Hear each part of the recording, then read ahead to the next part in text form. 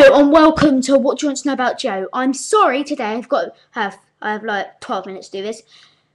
But I'm sorry for the inconvenience because what happens is I was saying Sean and or Kia was going to go through, but we did a brilliant video. It was really funny. But then Kia started playing a game on the internet, so like then it's uh, oh, re responding what came up and it wouldn't respond. So then it got deleted. So it wasn't Kia's fault, but it was. Nah, not really. Just joking. Um, no, no offense to Kia, but just joking.